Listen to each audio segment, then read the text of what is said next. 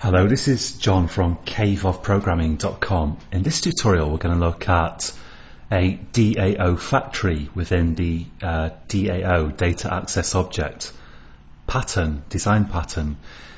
Since the last tutorial what I've done is um, I've taken this person DAO that we created in a previous tutorial and I've filled in just some SQL so that it actually works and we've got create, retrieve, update and delete methods for dealing with these person objects and getting them into and out of our database.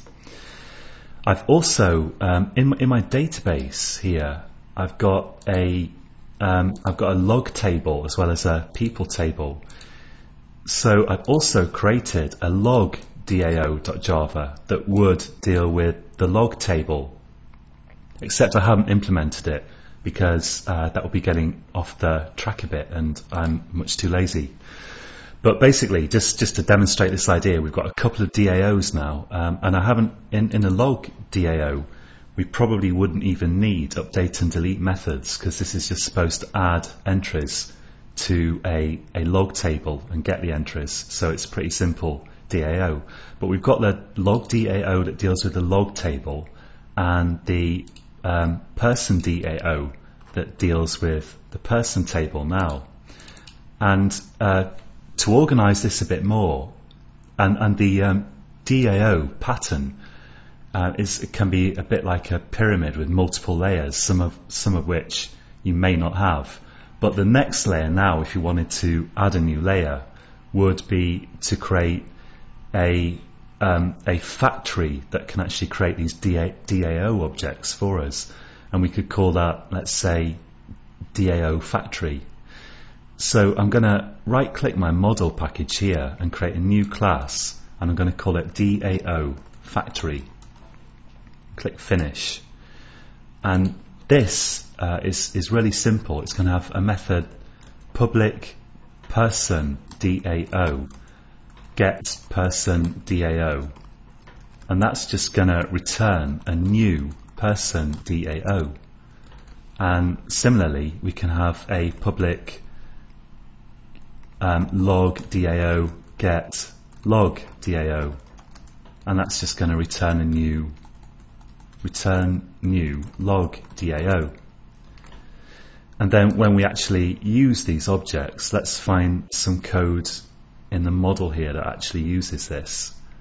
And it's um, it's a while since I worked on this. So oh yeah at the moment what I've done is I've got a controller using these DAO objects. So uh, now instead of the instead of the code that works with a person DAO, for example, doing new person DAO, this code can then do DAO factory dot get person DAO. Something I've forgotten actually, which is that these methods have to be static. So let's let's make them static because I want to call them via the class name. Um, so DAO factory has static methods that just create and return the DAO objects and then in the controller we can say DAO factory get person DAO for example.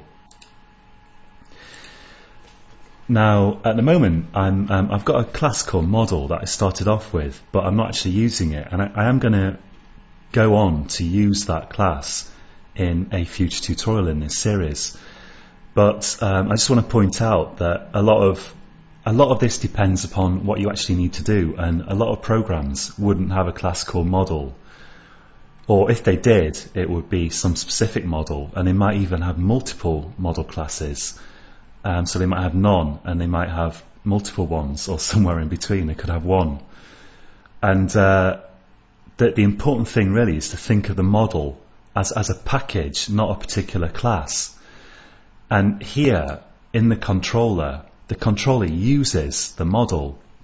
So the controller is going to use classes from this model package. It's not necessarily the case that the controller is just going to work with this model class, which at the moment doesn't do anything, and that will use these other classes within the package. It doesn't work like that.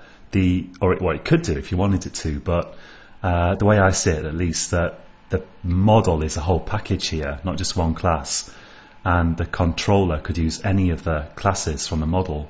And it's the same for the view. Um, if you're if you've decided that you're going to let the, the view get information from the model without going through the controller, which is a legitimate decision to make, then uh, the the view could potentially use any of the classes in the model package, not just one. So the different bits of the application, model view and controller, each of them are not normally one class. They're, they're more like a package, which may even have sub-packages containing lots of classes. That's it for this tutorial.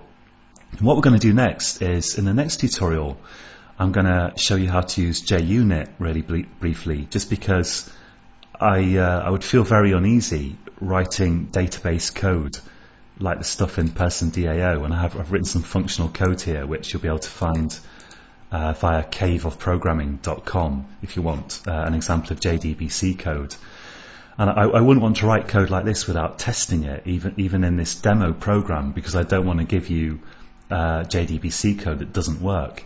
So in the next tutorial, even though it doesn't necessarily fit all that well into the theme of this course, I'm going to show you how to use JUnit, which um, a lot of people have asked me about, and I, figure this is a good place to demonstrate it. And then we're probably going to go on to looking at extending the DAO pattern further and adding a kind of new tier to the pyramid that can work with multiple databases. So that's it for this time, and um, until next time, happy coding.